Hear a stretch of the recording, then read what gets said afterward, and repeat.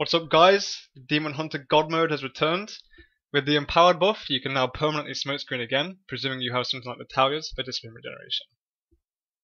This being back in the game, even if it's only for 2 minutes at a time, is probably not good for the game, however it makes me very very very happy. Thanks for watching this video, and go abuse permanently smokescreen.